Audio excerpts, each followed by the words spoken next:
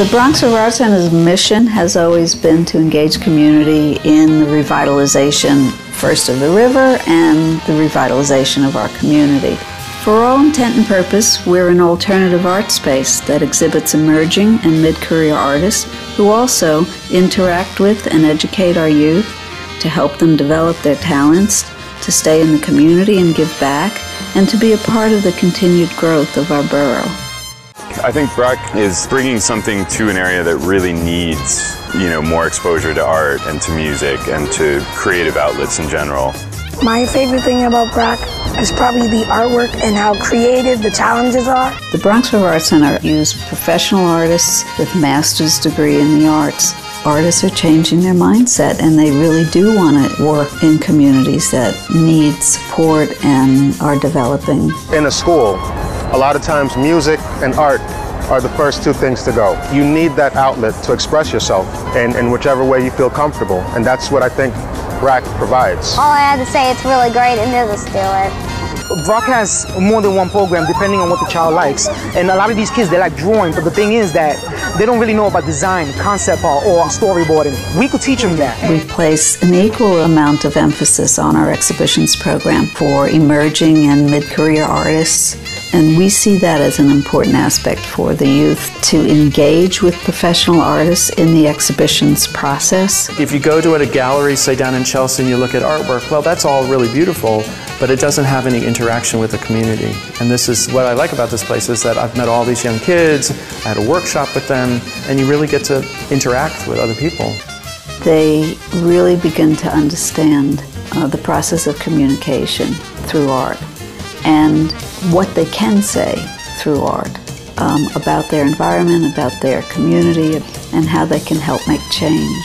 We have something that looks like a tree, is made of trees because it's on plywood, and is surrounded by real trees, but it is not a tree. She inspires me to be an artist in a way of using things that you don't see as art, but making them others see in art. We have always and will continue to provide space opportunities for artists to work. From our central location in the heart of the Bronx, we reach out throughout the whole borough to do all kinds of art activities, performances, public art, virtual public art that people using smartphones and iPads can see pieces virtually on their phone. And we do it near public spaces like near bus stops and train stations where there's a lot of pedestrian traffic, where people who are not used to seeing this kind of thing in their community.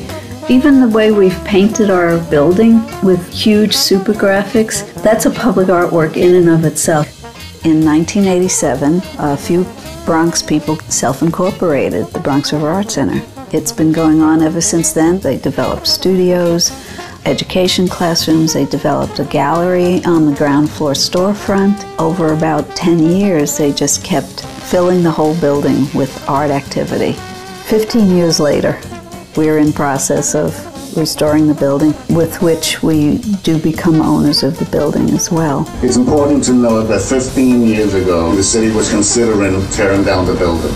Well, a building like this is incredibly important, but more important is the programming that's going to happen in it. Everyone, as far as the eye can see, will be able to tell what it is, or they will ask themselves, what is that beautiful gorgeous white building with this stark green lettering. Let's go in and see what's there. But I'm proud to report that we passed a budget that includes a historic commitment to bringing arts education to underserved neighborhoods throughout the city.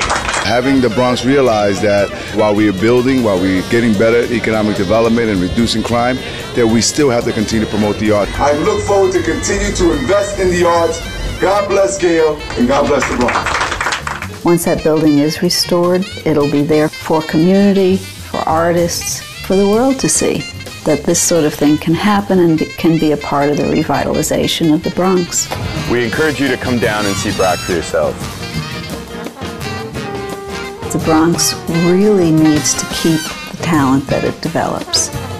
It's a beautiful borough.